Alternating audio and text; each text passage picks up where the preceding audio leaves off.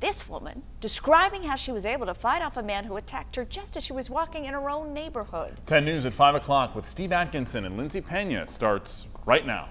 Live from the Scripps Studios, this is 10 News. I was kind of stunned and I just kind of laid there for a minute. A grandmother reliving the horrific moment she was attacked by a complete stranger while out for a walk.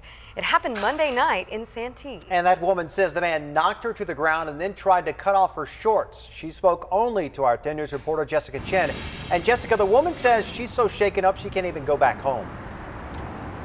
That's right, she is not staying at home tonight. Well, the attack happened right under this overpass on Cottonwood and Prospect, just minutes from her home. If you look down, bloodstains are still on the ground. Tina says she thinks the attacker used some sort of sharp object like a pair of box cutters or a knife to try to cut off her clothes.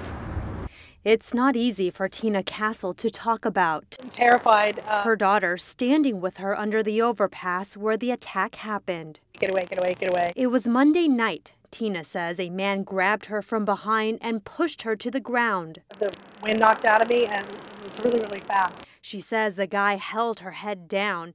She felt his other hand trying to rip off her shorts. Started trying to cut my shorts off. The sharp object also cutting her skin, leaving marks and bruises all around her thighs and legs. Was bleeding from multiple places. Tina says she knew she just had seconds to escape. Um, I couldn't get him off of me, so I couldn't think of what to do. So I urinated myself and peed on him, and he got freaked out and ran. Tina says that split second decision saving her life. This all happened just minutes from her home. Tina says she's just lucky she was able to get away.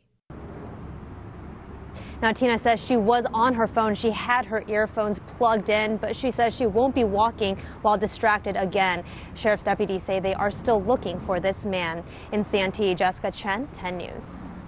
Some breaking news now. SWAT